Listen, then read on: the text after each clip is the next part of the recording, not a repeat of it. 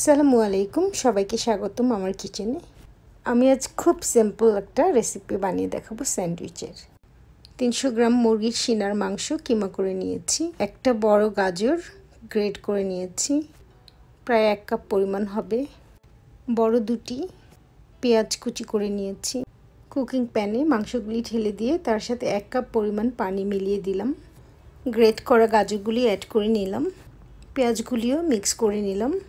এবারে এক চা চামচ পরিমাণ লবণ দিয়ে দিলাম অথবা আপনাদের স্বাদ মতো মিশিয়ে নিতে পারেন। এবারে খুব ভালো করে মিক্স করে নিতে হবে।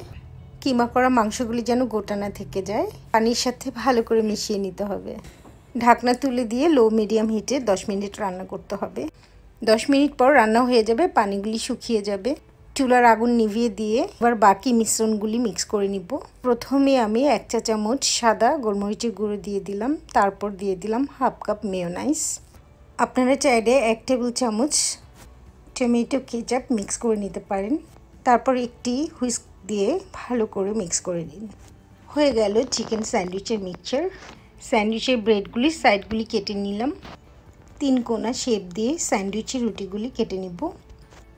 আপনারা অবশ্যই ট্রাই করবেন বাসায়। ভালো লাগলে অবশ্যই কমেন্টস লাইক দিবেন প্লিজ আর আমার চ্যানেলটি সাবস্ক্রাইব করতে ভুলবেন না কিন্তু। এটা বাচ্চাদের টিফিনে, নাস্তায়, বড়দের অফিসের নাস্তা, বিকেলের নাস্তা হিসেবেও খেতে পারেন। কোনো পার্টিতে বা মেহমান এলেও সার্ভ করতে পারেন। রেসিপিটি ফলো করে বানিয়ে দেখুন, খুব টেস্টি এটা আমার একান্তই নিজস্ব রেসিপি বানানো খুবই সহজ। মাত্র দশ থেকে পনেরো মিনিটের মধ্যেই এটা তৈরি করা যায়। বাচ্চাদের টিফিনের জন্য অল্প সময়ে এটা বানিয়ে নিতে পারবেন।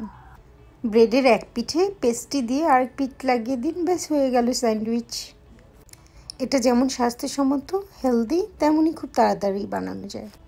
আশা করছি আপনাদের ভালো লাগবে। সেম রেসিপিটি ফলো করে বানিয়ে নিন। ভিডিওটি দেখার জন্য আপনাদের সবাইকে অনেক ধন্যবাদ। আমাদের নেক্সট ভিডিও দেখার জন্য আপনারা বেল আইকনটি প্রেস করে দিবেন ও সাবস্ক্রাইব করে রাখবেন।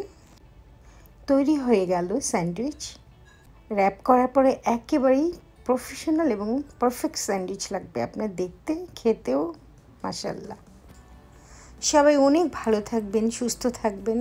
এই আশা নিয়ে আজকের জন্য বিদায় নিচ্ছি। আল্লাহ হাফিজ।